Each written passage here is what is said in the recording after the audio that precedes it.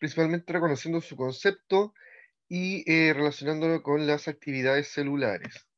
Entonces, eh, ¿qué es lo que entendemos por metabolismo? básicamente es el hecho de alimentarse, ¿no es cierto?, a través de un mordisco o un sorbo diferente batido, ¿no es cierto? Eh, el cuerpo tiene que trabajar, ¿no es cierto?, para poder procesar esos alimentos o nutrientes, ¿no es cierto?, que hemos ingerido, y esto lo hace a través del metabolismo. Mucho después de que eh, nos alimentamos, ¿no es cierto?, sucede este proceso en que los nutrientes se conviertan en los componentes básicos y principalmente en un combustible o en la energía necesaria, ¿no es cierto?, para que nuestro cuerpo pueda funcionar y crecer.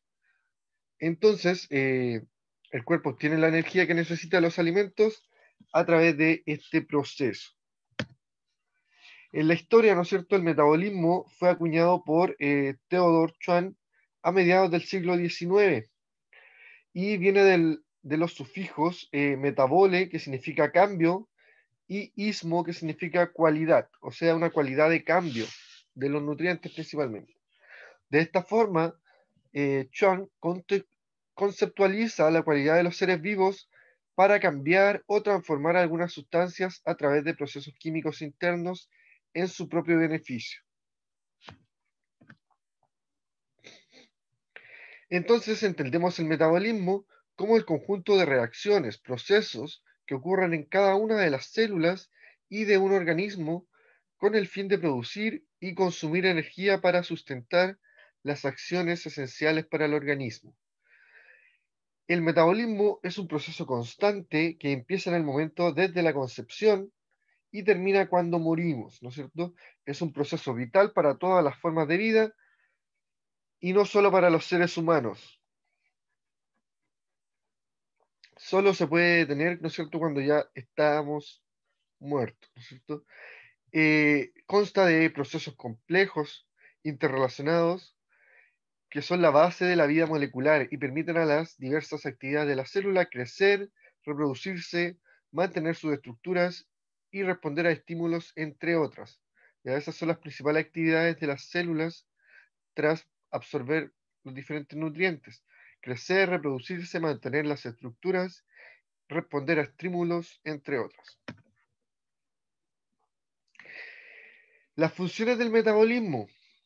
Podemos entender que el metabolismo está relacionado a los procesos físicos y químicos del cuerpo y que se convierten o se usan a través de la energía, tales como la respiración, la circulación sanguínea, la regulación de la temperatura, contracción muscular, digestión de alimentos y nutrientes, eliminación de desechos a través de la orina y de las heces, el tema relacionado también con la homeostasis, ¿no es cierto?, que también vimos, y el funcionamiento del cerebro y los nervios. ¿ya? Acá se les adjunta un video sobre el metabolismo, que es lo que estamos hablando, que tiene que ver con la transformación de los nutrientes para eh, la obtención de energía en nuestro cuerpo.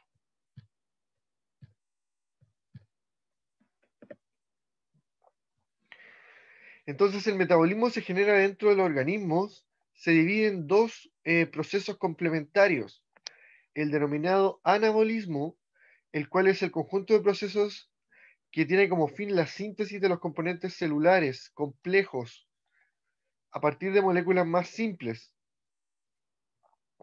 Es el caso de la síntesis de proteínas en el tejido muscular a partir de los aminoácidos.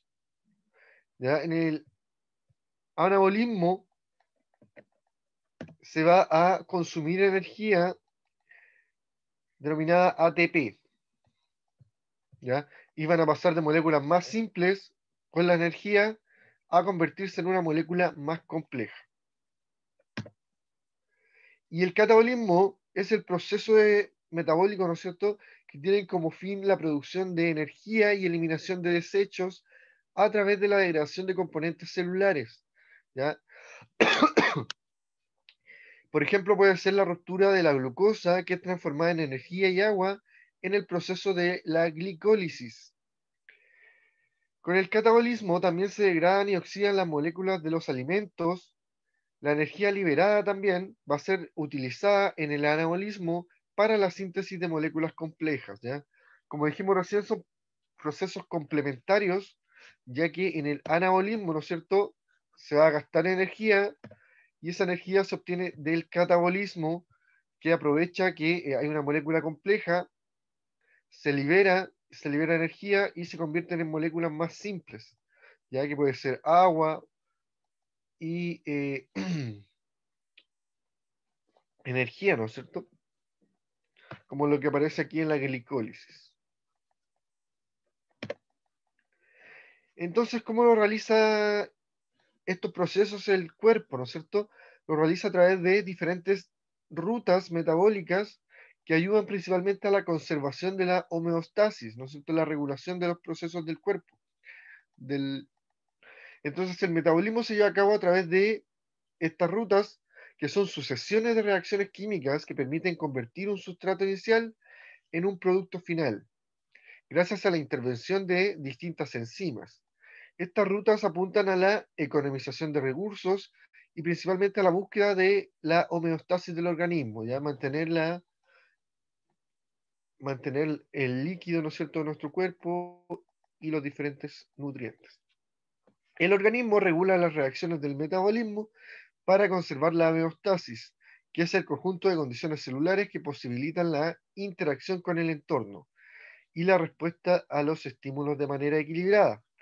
Entonces aquí en la imagen aparece el denominado ciclo de Krebs, que es lo que aparece acá al final, ¿no es cierto? Y como pueden ver, eh, empiezan, ¿no es cierto?, desde distintos nutrientes como las proteínas, los polisacáridos y los lípidos, que son incorporados a nuestro cuerpo, ¿no es cierto?, hasta pasar por diferentes enzimas en el ciclo de Krebs y poder convertirse en energía, agua y dióxido de carbono también. ¿no es cierto? Y además se produce amoníaco como desecho o restos. Entonces, eh, hay otros conceptos también relacionados al metabolismo, como es el metabolismo basal, ¿ya? que es principalmente la cantidad mínima de energía que se necesita a tu cuerpo para sobrevivir, realizando las funciones básicas, ¿no es cierto? ¿Cuáles son las funciones básicas? Respirar, bombear el corazón, filtrar la sangre, sintetizar hormonas, parpadear o en estado de reposo, que son eh, acciones de nuestro cuerpo que son más que nada involuntarias y que se realizan para eh, sobrevivir. Es un gasto básico, pero aunque estés en el absoluto reposo, tu cuerpo necesita seguir funcionando. Lo puedes comparar con la electricidad que gasta un televisión estando apagado, ¿no es cierto? Que queda solamente una luz roja prendida, que significa stand-by. O sea que cuando se gasta lo mínimo. Con ello, en este cálculo hay que añadir las actividades extras que se pueden hacer en el día, ¿no es cierto? Que son las distintas actividades que uno realiza en el día a través de eh, ya sea para ir a trabajar, ¿no es cierto?, para ir al colegio, y eso se denomina la tasa metabólica basal. Entonces, cuando estemos descansando, ¿no es cierto?, eh, vamos a estar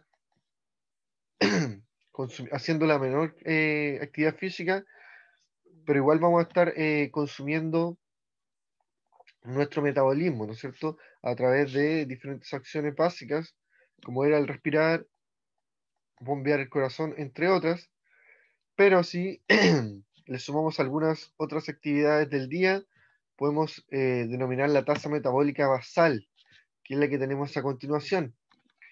Y esto se denomina un cálculo de calorías eh, que se consideran mínimas, eh, las cuales va a precisar una persona para tener diferentes funciones durante el día, ya principalmente las orgánicas del cuerpo, y que pueden variar según la edad, y la masa corporal que ya posea.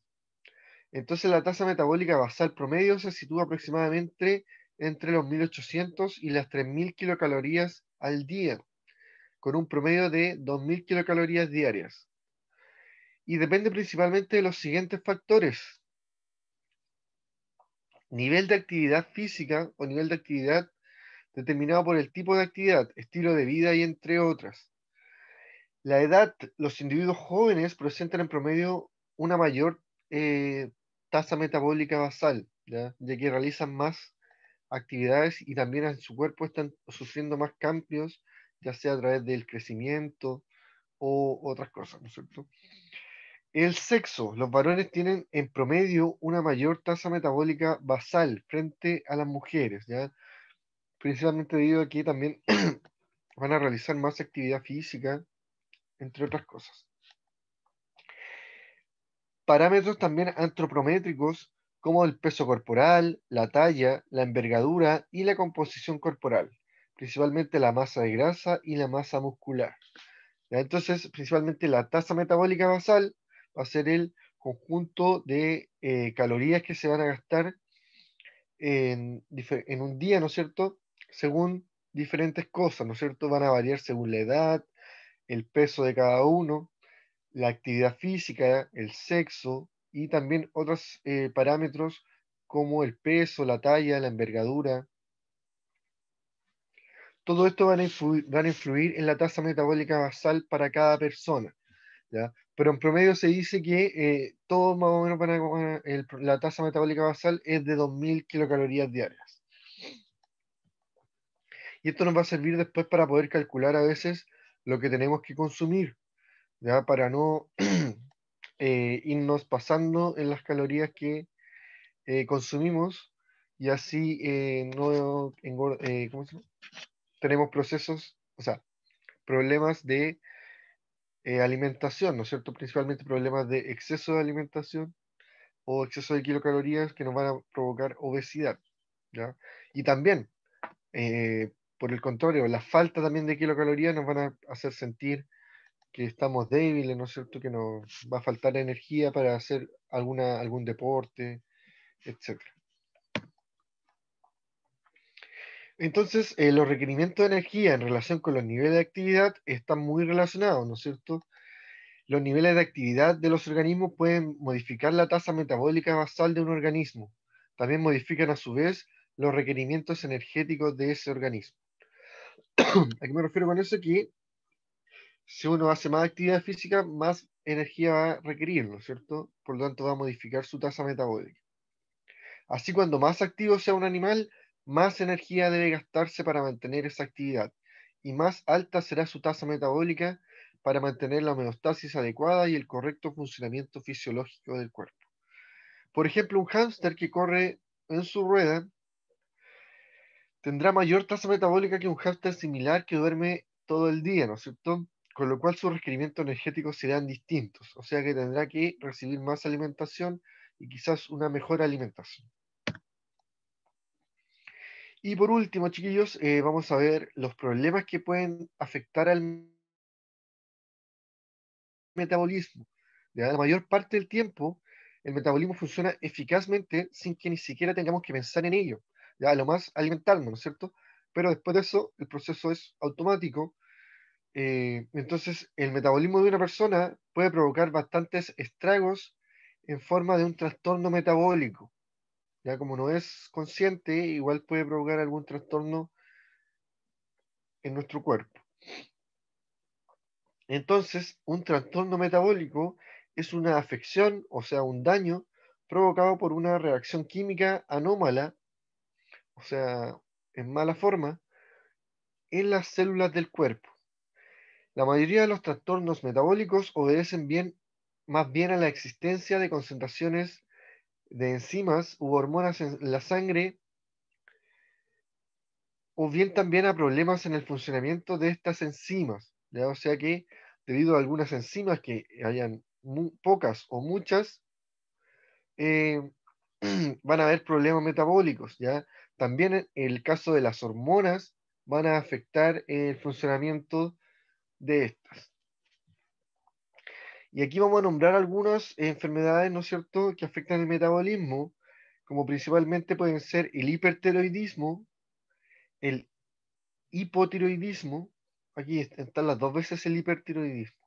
Era uno hipertiroidismo y el otro hipotiroidismo, que eh, tiene que ver con las hormonas que libera la glándula tiroide, que en el caso que hiper eh, van a ser muchas hormonas liberadas y van a afectar, ¿no es cierto?, el funcionamiento. Y cuando sea hipo, van a haber pocas hormonas eh, liberadas por la tiroides. Y tenemos, ¿no es cierto?, otras enfermedades como la diabetes, que puede tener tipos 1 y tipo 2, la intolerancia a otros alimentos como por ejemplo la lactosa, la soya, el gluten, que pueden provocar trastornos en el metabolismo, ¿no es cierto? Y eh, diferentes dolores. El estrés es grave, ¿no es cierto? Y puede provocar eh, problemas en nuestro metabolismo, lo que va a provocar, eh, puede provocar obesidad, ¿no es cierto? O desnutrición. Y entre otros más pueden haber otros problemas, ¿no es cierto? Acá vemos algunos alimentos que pueden provocar daños al estómago por diferentes razones también. Y estamos viendo cómo se mide el grado de azúcar en la sangre en una, para, una problema, para una persona que tenga problemas diabéticos. Entonces, eso es más que nada el tema del metabolismo, chiquillos. Eh, cualquier consulta al WhatsApp, al correo, ya recuerden que venía un video adjunto entre medio de las diapositivas para que puedan complementar sus estudios con las diapositivas. Y es eh, principalmente en, una primera parte viene a completar la oración, en donde eh, vienen unos párrafos relacionados a las diapositivas vistas recientemente y a los conceptos vistos.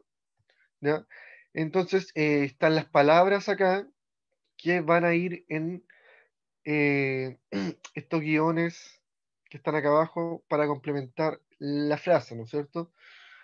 Entonces, obesidad, subir, mantener, reduciendo, actividades, perder, metabolicen, edad, sale, aumentando y entra, son palabras que van a tener que acomodar en estas eh, nueve frases. Ya se supone que están justas una para cada una.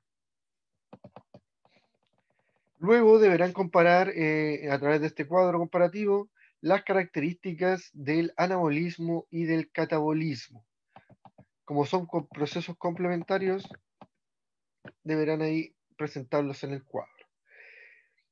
Y finalmente deberán responder la pregunta esencial relacionada a la semana 27, que tiene que ver con cuáles son las funciones principales que cumple el metabolismo. ¿ya? ¿A qué nos ayuda el metabolismo en nuestra vida? Además, se les adjuntan las eh, preguntas pendientes de la semana 22 y la semana 23 relacionados a eh, ácidos y bases y relacionados al, eh, a la organización de la materia. Entonces esas preguntas recuerden chiquillos que tienen que estar enviándolas al WhatsApp eh, lo más pronto posible, ¿no es cierto? Ya nos van quedando pocas semanas para terminar, así que la idea es que eh, la estén enviando, ¿ya? Hemos estado recibiendo hartas eh, preguntas esenciales y la idea es tener listo, por ejemplo, un cuadro en donde tengamos sus nombres y las preguntas esenciales que han podido enviar para fin de año poder calificar, ¿no es cierto?